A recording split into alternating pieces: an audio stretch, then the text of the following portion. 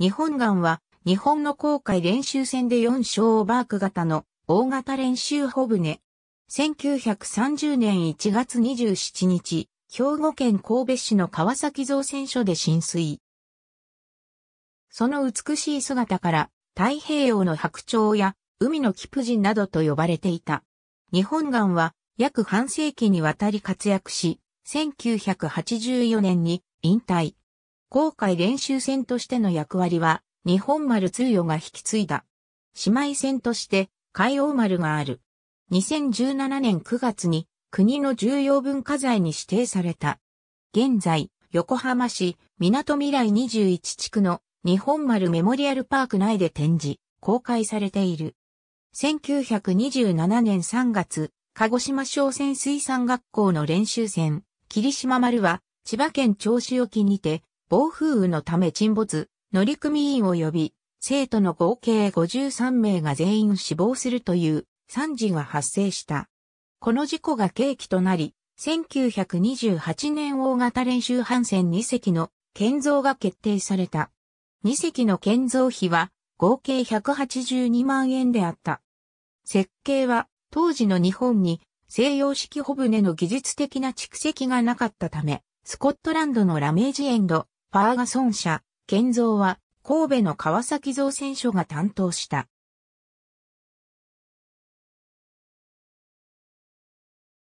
1930年1月27日に浸水した第1船は日本岸、同年2月14日に浸水した第2船は海王丸と名付けられた。同年3月31日には偽装を終え文部省に引き渡された。所管は文部省公開練習所。同年にはミクロネシアのポナペ島へ初の遠洋航海を行った。その後、太平洋を中心に訓練航海に従事していたが、太平洋戦争が激化した1943年に搬送が取り外され、大阪湾、瀬戸内海にて石炭などの輸送任務に従事した。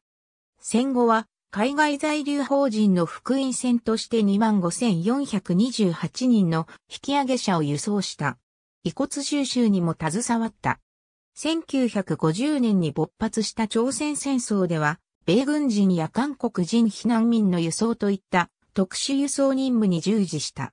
1952年、搬送の再設置がなされ訓練航海に復帰した。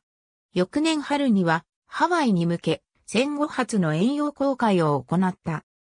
その後、1974年以降は遠洋航海の規模を縮小したが、アメリカ建国200年祭の記念行事、オペレーションセールに参加するため、1976年4月15日に日本を出版、ニューヨークの北東ニューポートに、同年6月29日到着、独立記念日にニューヨークでアメリカのイーグルを先頭に他の大型帆船20隻と共に構想した。1984年9月16日退役。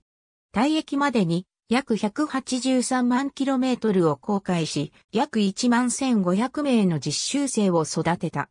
海洋練習船としての役割は、後継の日本丸通与が受け継いだ。1985年から横浜市の所有となり、港未来21地区の日本丸メモリアルパーク内で展示、公開が開始された。1998年に大規模な修繕を受けているが、以後は大掛かりな修繕は受けておらず老朽化が問題となっていた。2019年現在、2020年までの予定で大規模修繕中である。